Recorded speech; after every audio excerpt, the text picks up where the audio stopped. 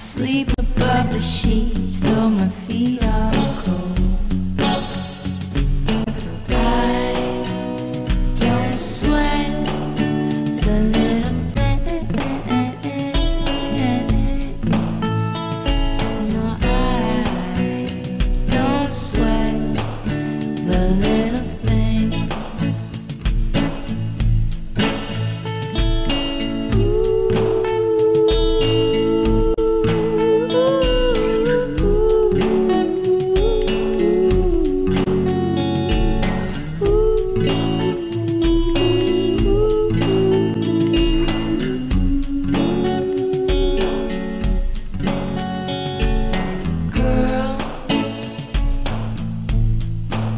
punch me in the eye.